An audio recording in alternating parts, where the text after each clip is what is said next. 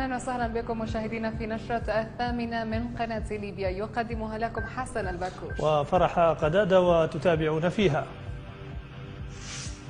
لليوم الثاني على التوالي تواصل جلسات الحوار بين وفدي مجلس مجلسي النواب والدولة في المغرب.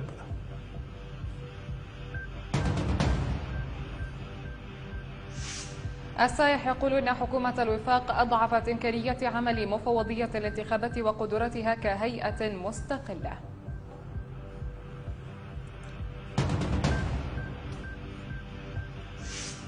رئيس الحكومة يبحث مع اللجنة العليا لمكافحة كورونا تطورات الوضع الوبائي في البلاد.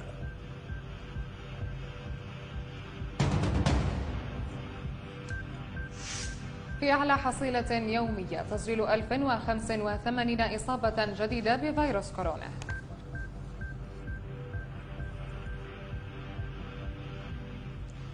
تتواصل لليوم الثاني على التوالي جلسات الحوار بين وفدي مجلسي النواب والدولة في المملكة المغربية. وفي بيان مشترك أمس توجه وفد المجلسين بالشكر للمملكة المغربية على حفاوة الاستقبال وحسن الضيافة. مثمنين سعي المغرب وحرصها على توفير المناخ الأخوي الملائم الذي يساعد على إيجاد حل للأزمة الليبية. بهدف الوصول إلى توافق يحقق الاستقرار السياسي والاقتصادي الذي من شأنه رفع المعاناة عن الشعب الليبي والسير في سبيل بناء الدولة العزيزة المستقرة.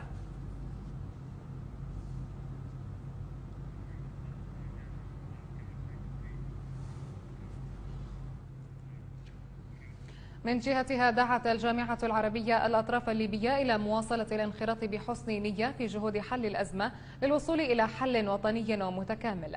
وأكدت الجامعة العربية في بيان لها اليوم أنها تتابع سير الحوار الليبي الذي انطلق يوم أمس في الرباط بدعوة من المملكة المغربية وتحت إشراف بعثة الدعم, الدعم الأممية في ليبيا. ودعا مصدر مسؤول بالأمانة العامة للجامعة الأطراف الليبية كافة إلى مواصلة الانخراط في الجهود المبذولة للحوار مما يفضي إلى التوافق على استكمال المرحلة الانتقالية التي تمر بها البلاد وتتويجها بانتخابات تشريعية ورئاسية يرتضي الجميع نتائجها.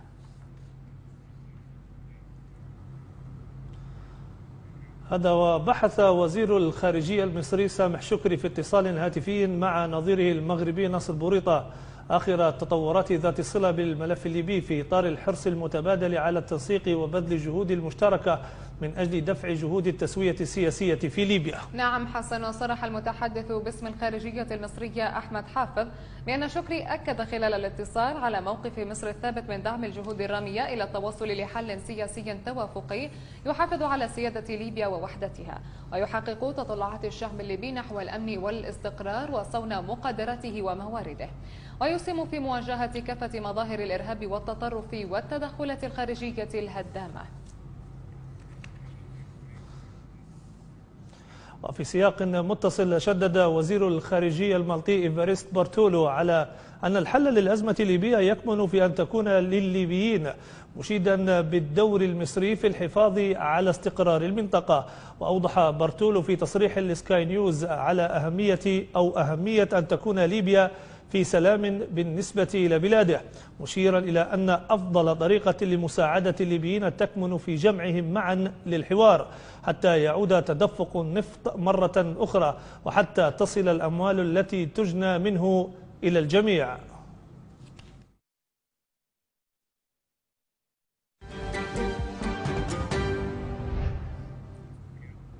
قال رئيس المفوضية الوطنية العليا للانتخابات عماد السايح أن المفوضية يجب أن تكون هيئة سيادية مستقلة لا تتبع لسلطة تنفيذية. السايح صرح في مقابلة مع قناتنا بالضغوطات التي تواجهها مفوضية الانتخابات منذ أن أصبحت تحت تبعية حكومة الوفاق عام 2016 حيث باتت تخضع لجميع القرارات التي تتخذها الحكومة على المؤسسات التي تتبع لها.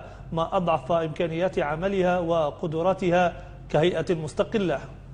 المشرع في هذا القانون أشار إلى أن هذه الهيئة مستقلة وذكر استقلاليتها في ثلاث مواضع وثلاث مواضع من هذا القانون.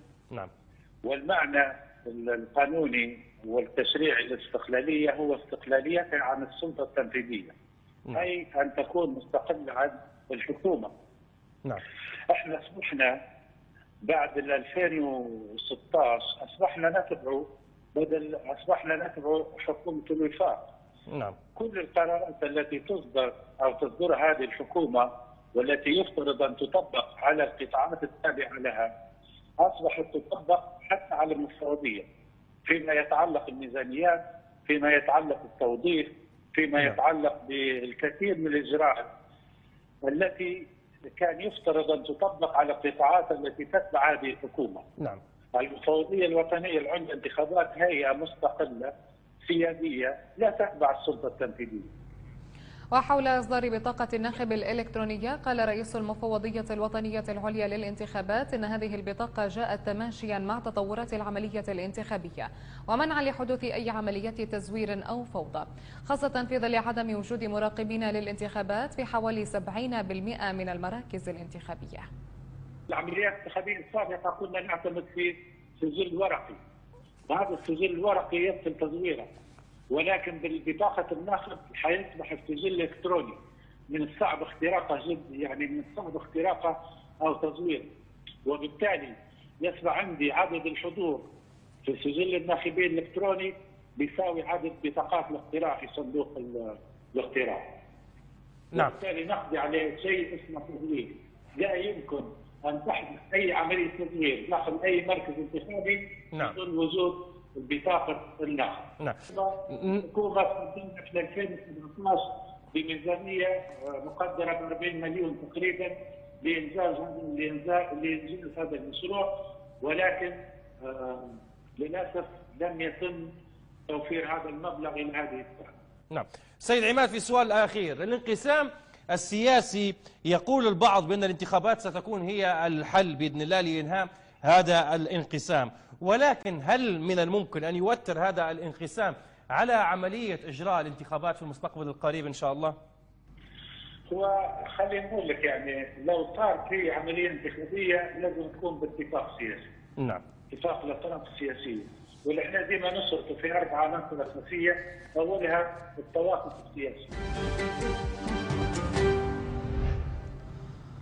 بحث رئيس الحكومة عبد الله الثنية اليوم مع رئيس وأعضاء اللجنة العليا لمكافحة وباء كورونا مستجدات المرحلة وتطور الوبائي في البلاد. وذلك خلال اجتماع عقد في ديوان رئاسة مجلس الوزراء بمدينة بنغازي. الاجتماع ناقش الوضع الوبائي والتدابير والإجراءات الاحترازية والوقائية المتخذة والتي تحول دون تفشي الوباء بين المواطنين حيث شدد المجتمعون على ضرورة التزام كافة الأنشطة التجارية والاقتصادية بتوفير الكمامات للزبائن مع فرض غرامات مالية على المخالفين. وخلص الاجتماع إلى رفع جزئي لحظر التجول بحيث يكون من الساعة التاسعة مساء وحتى السابعة صباحا من كل يوم. هذا وأعلن المركز الوطني لمكافحة الأمراض في بيانه رقم 183 تسجيل 1085 إصابة جديدة بفيروس كورونا المستجد بين مخالطة وجديدة كأعلى حصيلة يومية منذ بداية الجائحة فيما شفيت 81 حالة وسجلت 11 حالة وفاة أمس. التقرير التالي والتفاصيل. بالفعل صدقت توقعات المتابعين للوضع الوبائي في ليبيا بأن أياما قليلة جدا كانت تفصلنا عن كسر حاجز تسجيل ألف إصابة مؤكدة بفيروس كورونا المستجد في يوم واحد والذي قلب موازين العالم بليلة وضحاها.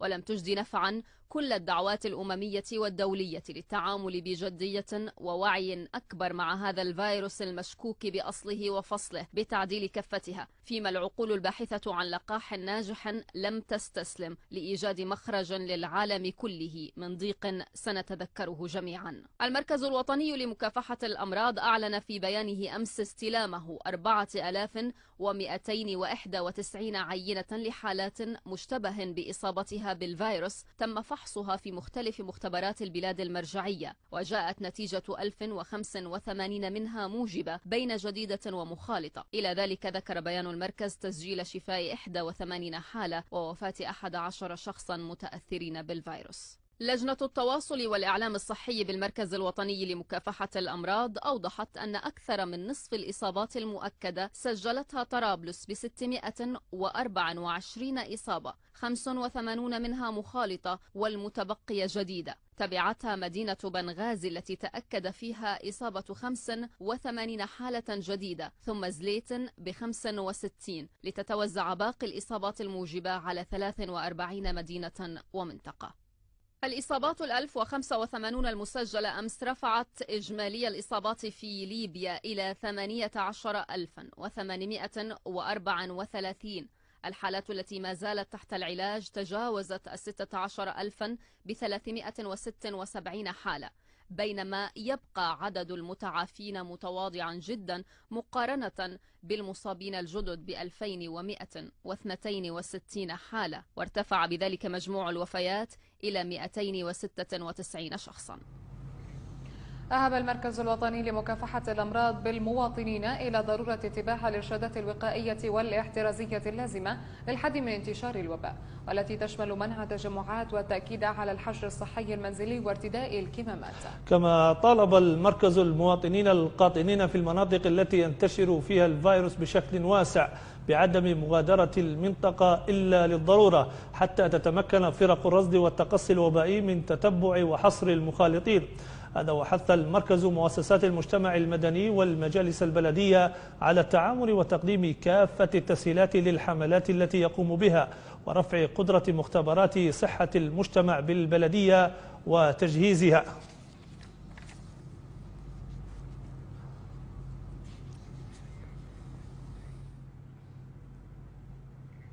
أعلنت اللجنة الطبية الاستشارية بجدابيا أمس تسجيل 55 حالة موجبة بفيروس كورونا من أصل 165 عينة تم فحصها في المختبر المرجعي. وأضافت اللجنة أن حالات الشفاء في المدينة وصل عددها إلى 21 بعد تسجيل ثلاث حالات أمس. فيما توفي اثنان من المصابين ليرتفع عدد الوفيات إلى 21 حالة. إلى ذلك وصل إجمالي الإصابات المؤكدة في المدينة إلى 531 إصابة منذ بداية الجائحة.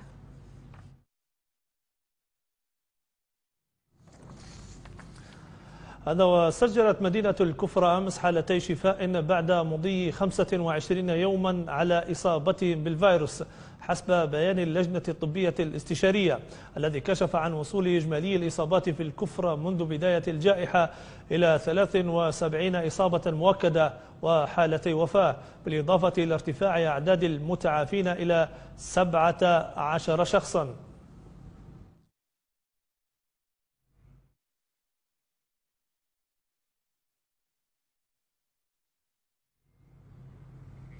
عقد مدير إدارة المستشفيات بوزارة الصحة بالحكومة الليبية إسماعيل العيضة سلسلة اجتماعات طارئة فور وصوله لمدينة الكفرة وذلك للاطلاع على آخر المستجدات والأحداث المتسارعة وأهمها نقص الكوادر الطبية.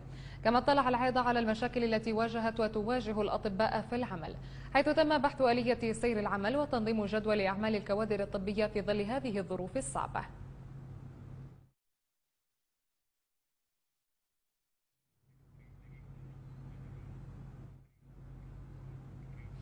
وللحديث أكثر حول تطورات الوضع الوبائي في الكفرة والإجراءات المتخذة وإمكانيات المدينة. ينضم إلينا عبر الهاتف عبد الله سليمان الناطق الإعلامي باسم اللجنة الرئيسية لمكافحة كورونا بالكفرة سيد عبد الله مرحبا بك. أهلا بك مساء الخير. مساء النور. سيد عبد الله من أهم المشاكل المتواجدة حاليا فيما يتعلق بالوضع الوبائي في ليبيا هو نقص الكوادر الطبية. سلسلة الاجتماعات التي قام بها السيد إسماعيل العيضة ماذا أضافت بهذا الخصوص؟ وما هي الإجراءات والقرارات التي تمخضت عن هذه الاجتماعات؟ نعم أختي كريمه آه، حقيقة يعني آه، ربما نحن في الكفرة عدد كبير من الأطباء والعناصر الطبية العاملة حتى الفنيين. آه، أعلن عن إصابتهم بفيروس كورونا. وبالتالي الكفرة باعتبار إن هي مدينة بعيدة عن المدن الأخرى أقرب تجمع سكاني أو أقرب مدينة للكفرة هي مدينة جالو 600 كيلو متر وأقرب مستشفى للكفرة هو مستشفى جالو اللي هو 600 كيلو متر وبالتالي آه، يعني صعب جدا الاستعانة مثلا بعناصر طبية آه، مثلا خلال النهار ويعودوا في الليل بما ممكن يحصل بين المدن القريبة من من من بغداد مثلا ولا من جداديه ولا من جاد. نعم. وبالتالي آه، بالفعل يعني إحنا العدد أساسا محدود. العدد ال- الأطباء في كفره أساسا العدد محدود. والآن آه، مجموعة منهم آه، أعلن عن إصابتهم بالفيروس. وبالتالي آه، الخطوة الأولى كانت هي توجيه نداء لكل طبيب. من أبناء الكفرة. ولكل عنصر آه، طبي مساعد من ابناء الكفره للالتحاق بالعمل فورا. يعني اذا كان في إجازة مثلا أو إذا كان آه، في طور إجراءات انتقال مثلا إلى مدينة أخرى وغيرها أو عموما أي طبيب خارج الخدمة الآن تم توجيه النداء وبالتالي التحق عدد كبير آه، جدا لدينا العديد من طبيبات النساء.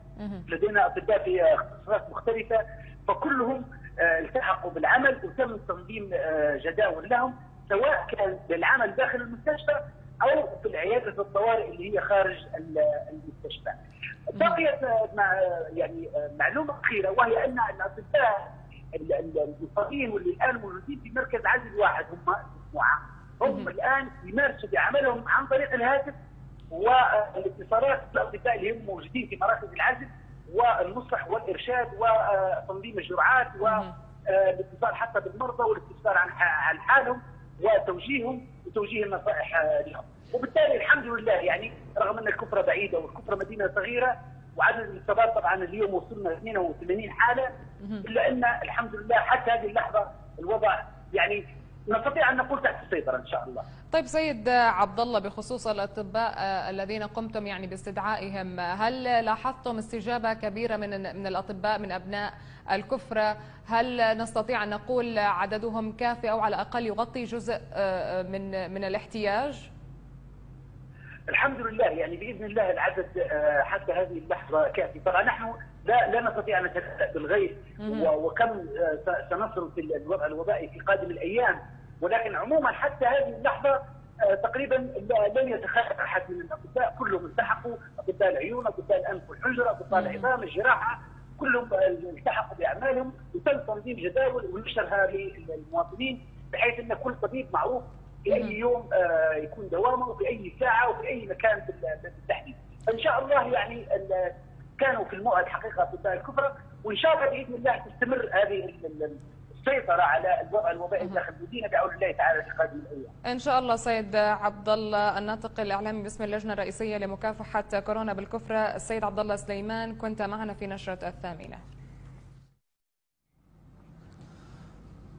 قام مدير أمن الواحات رئيس اللجنة الرئيسية لمكافحة وباء كورونا المقدم خالد العبار بزيارة تفقدية إلى مستشفى جال العام المخصص لحالات العزل بمناطق الواحات كما زار فريق الرصد والتقصي بالواحات حيث اطلع العبار على الوضع الوبائي بالمنطقة والصعوبات التي تواجه سير عمل المستشفى وفريق التقصي. إلى جانب تقديم الدعم للفرق الطبية والإدارات حسب الإمكانيات المتاحة وتم خلال الزيارة تقديم درع التميز والعطاء لمدير مستشفى جاد العام وذلك للمجهودات التي يقدمها لتذليل جميع الصعاب التي تواجه عمل قسم العزل بالمستشفى.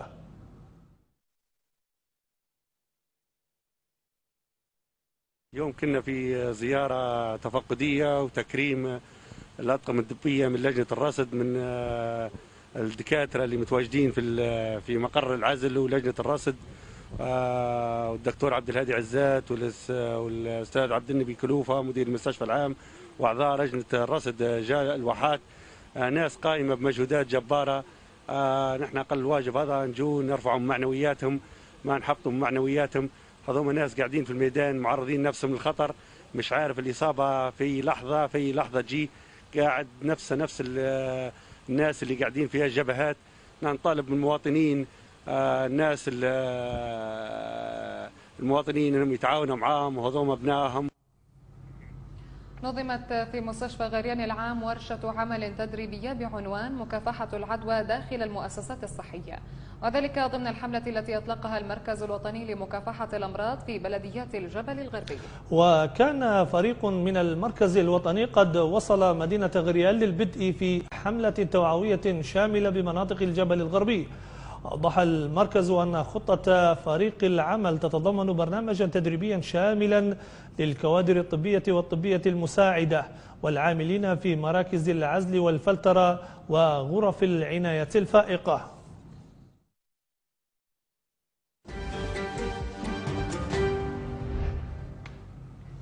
بدأت أمس في درناء الامتحانات النهائية لطلبة معهد التمريض المتوسط بمستشفى الوحدة التعليمية بحضور لجنة مكلفة من وزارة الصحة متمثلة في مدير مكتب تنمية الموارد البشرية بالوزارة محمد الجبالي وعدد من المسؤولين. الجبالي أكد أنه تم تطبيق كافة الإجراءات الاحترازية المنصوص عليها للوقاية من وباء كورونا وذلك لضمان المحافظة على صحة وسلامة الطلاب خلال فترة أداء الاختبارات. لجنة عليا للامتحانات بمستشفى الوحدة العلاجي آه، لإجراء الامتحان النهائي آه، للدفعة الأولى لتخريج الدفعة الأولى من شعبة التمريض.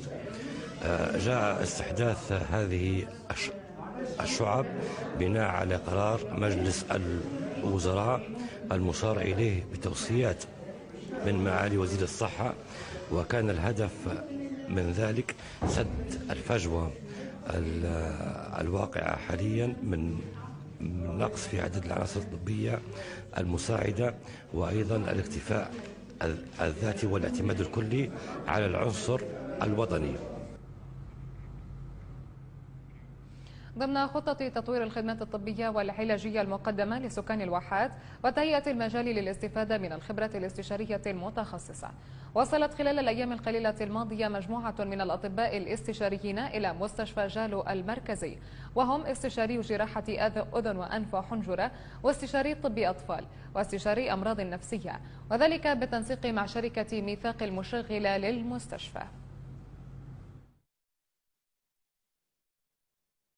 ستكون هذه زيارات متتالية على على زيارات وتنسيق لإجراء الحالات. قمنا اليوم بإجراء الكشف ابتداء من الأمس على عدد من الحالات. الفترتين الصباحية والمسائية وتم تحديد عدد من العمليات لإجراءها غدا صباحا.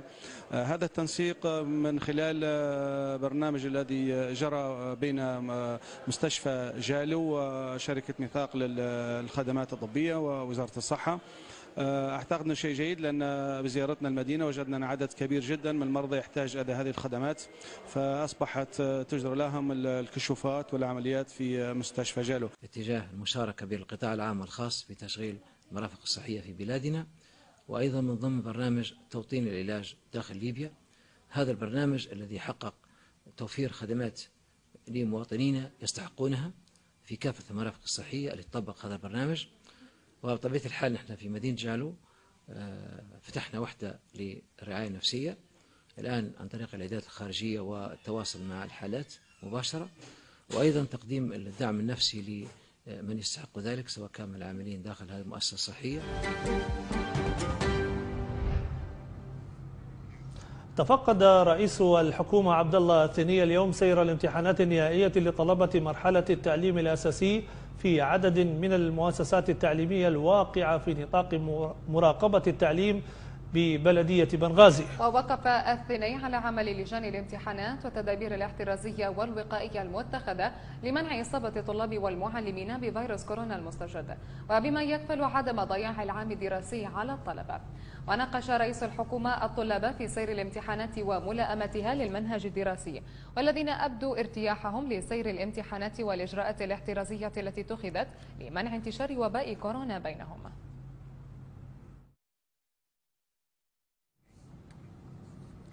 هذا وانطلقت أمس امتحانات الشهادة الإعدادية بمختلف المؤسسات التعليمية في بلدية طبرق.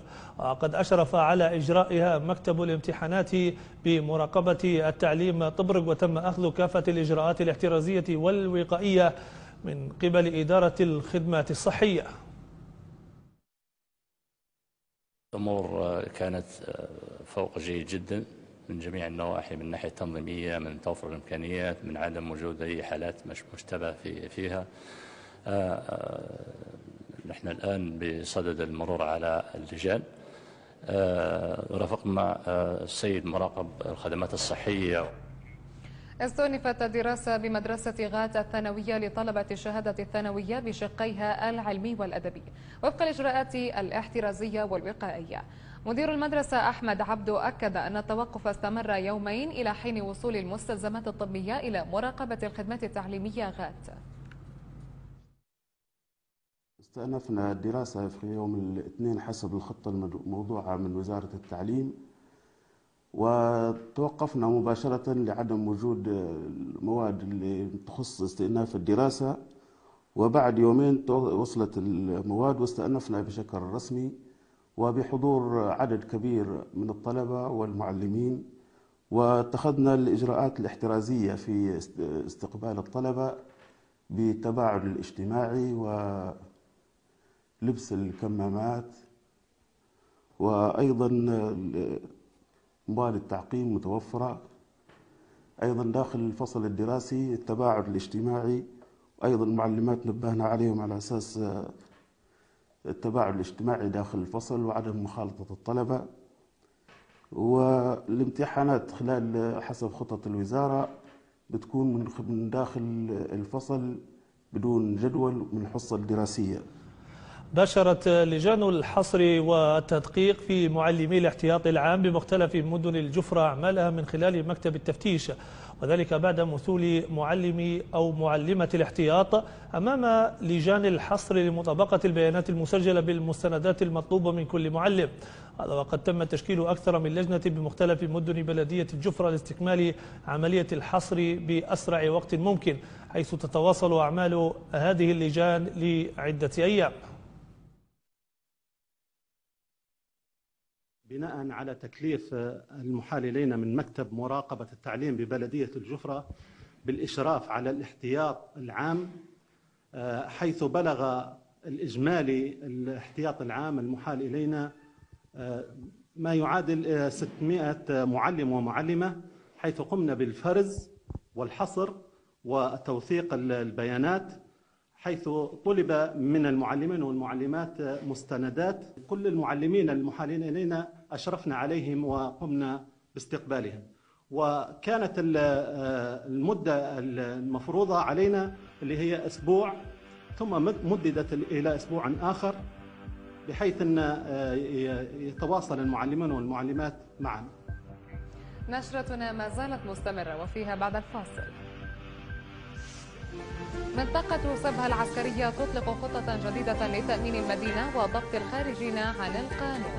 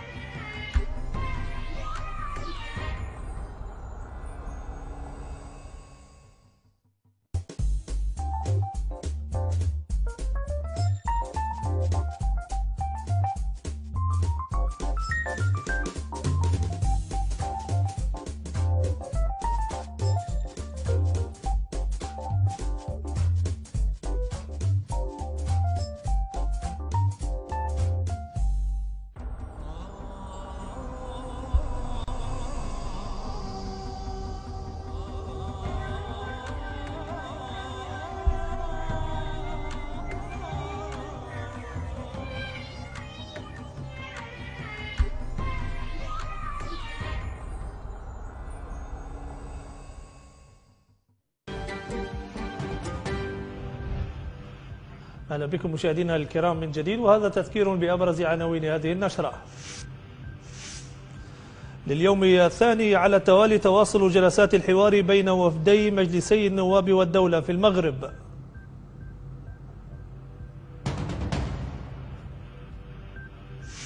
السايح يقول أن حكومة الوفاق أضعفت إمكانيات عمل مفوضية الانتخابات وقدرتها كهيئة مستقلة.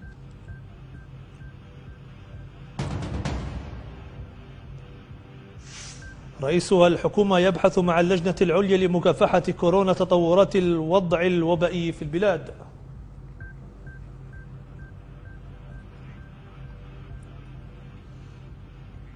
أهلا بكم. وجه وزير الداخلية المستشار إبراهيم بوشناف تعليماته إلى رؤساء الأجهزة الأمنية ومدير الأمن بشأن ضرورة عمل أعضاء هيئة الشرطة حيال مكافحة السحر والشعوذة وفقا لصحيح القانون. حيث أوضح بوشناف أن الدفاع عن مصالح البيئة الاجتماعية حق وواجب شريطة ألا تقع بالمخالفة لأحكام القانون أو ينقلب إلى تهديد لأسس الشرعية أو ينحدر إلى تعريض النظام الاجتماعي للخطر.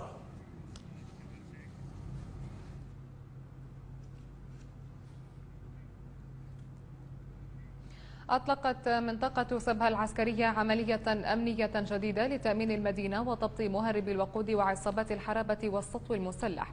تشترك فيها كتائب من الجيش الليبي ووحدات من مديرية الأمن الوطني والأمن الخارجي والداخلي وجهاز الدعم المركزي. هذا وأكد أمر منطقة سبها العسكرية العميد عبد القادر النحاس لقناتنا على الضرب بيد من حديد على كل المجرمين والمتورطين في أعمال الحرابة والخطف والتهريب. داعيا أحيانا المدينة لضرورة الالتزام والتعاون مع وحدات الأمن في الخطة التي تهدف إلى نشر قوات الجيش على المداخل الرئيسية للمدينة ومتابعة حركة السير ستنتشر القوات المسلحة داخل المدينة بقيادة أنا شخصيا للمحافظة على الأمن والأمان للقضاء على هؤلاء المجرمين وقطاع الطرق ومهربي الوقود بدينا في الانتشار اليوم 5 9 2020 سيستمر آه، هذا الانتشار إلى أن يتم تأمين مدينة سبها بالكامل. مطلوبين وال القتلة والسراق ومهربي الوقود. سيتم القبض عليهم أولا بأول أنه ولأنها طلبت من الأجهزة الأمنية تجهز القوائم اللي عندها بخصوص المجرمين وعن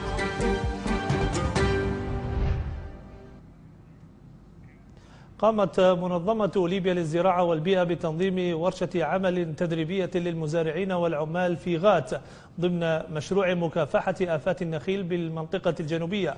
وحضر الورشة عدد من المزارعين والمهتمين بالمجال الزراعي من كافة محلات بلدية غات. هذا وتمحورت الورشة حول آفات النخيل كالحشرة القشرية وسوسة النخيل وكيفية التعامل مع النخلة.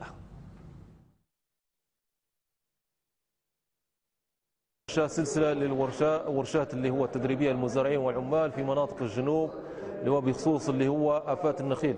وبالتحديد اللي هو الحشرة القشرية كذلك اللي هو سوسة النخيل. طبعا الهدف من هذا اللي هو البرنامج أو اليوم الحقلي اللي هو تدريب المزارعين على كيفية التعامل مع هذه الآفة كذلك اللي هو آه، في الجانب اللي هو العملي التركيز على اللي هو عمليات خدمة النخلة من اللي هو الري والتسنيد كذلك اللي هو نظافة اللي هو أو تنظيف النخلة قالت الهيئة العامة للكهرباء بالحكومة الليبية اليوم إن الشبكة الكهربائية بالمنطقة الشرقية مرت خلال اليومين الماضيين باستقرار كلي نتيجة لتوفر إمدادات الوقود من المصدر سواء من الغاز أو الوقود الخفيف.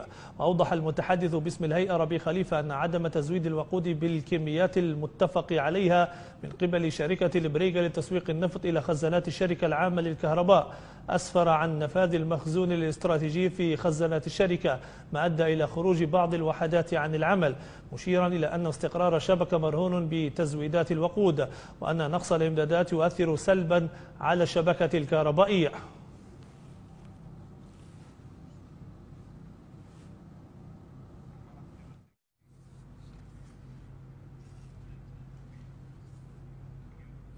عبر عضو مجلس النواب يوسف العقوري عن شكره وتقديره لإدارة التشغيل والصيانة بجهاز النهر الصناعي. لمجهودهم الاستثنائي المتمثل في صيانة إحدى وصلات الأنابيب المتضررة والمؤدية إلى خزان عمر المختار الرئيسي بمدينة سلوق قرب مدينة بنغازي. أضاف العقوري أن المجلس تابع باهتمام وفخر قيام فرق الصيانة بجهاز النهر من مهندسين وفنيين بإجراء عملية الصيانة بطريقة مبتكرة. ضمت أو ضمنت عدم انقطاع المياه عن مدينة بنغازي في هذه الأوقات الصعبة التي تتطلب استمرار إمدادات المياه لمكافحة كورونا.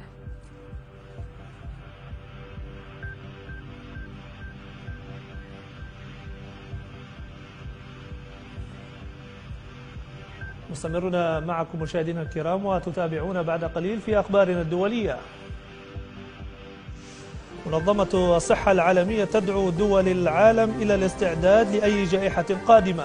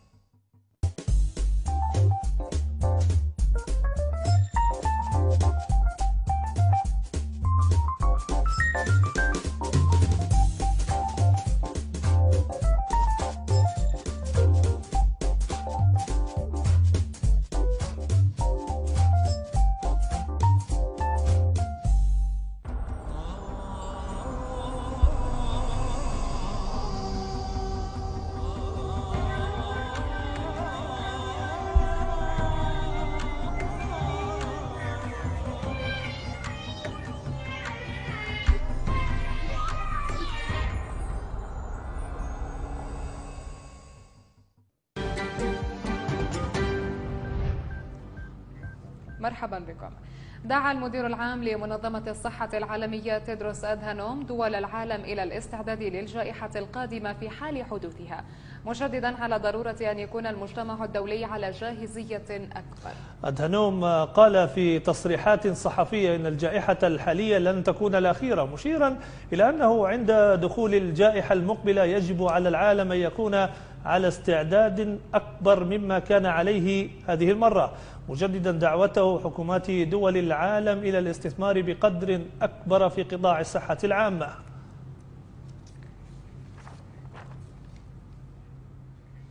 تجاوز عدد المصابين بفيروس كورونا في الهند العدد المسجل في البرازيل.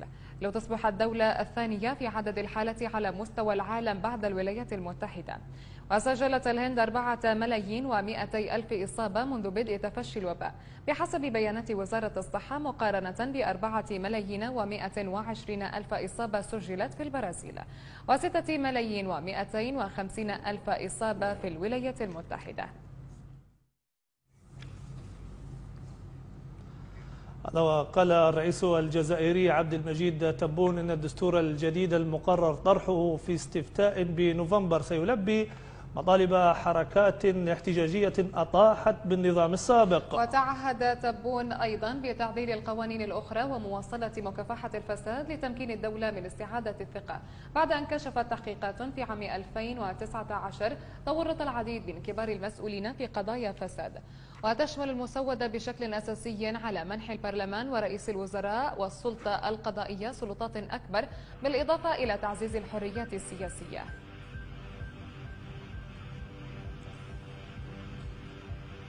وصلنا إلى ختام نشرتنا. وقبل الختام هذا تذكير بأبرز العناوين.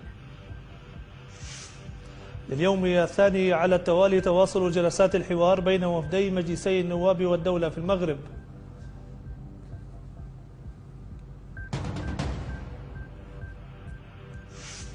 السائح يقولون حكومة الوفاق أضعفت إمكانية عمل مفوضية الانتخابات وقدرتها كهيئة مستقلة.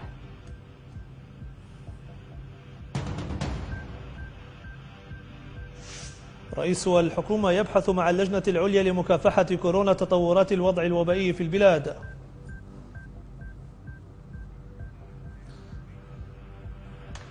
بذا مشاهدينا نكون قد وصلنا إلى ختام هذه النشرة. إلى اللقاء. إلى اللقاء.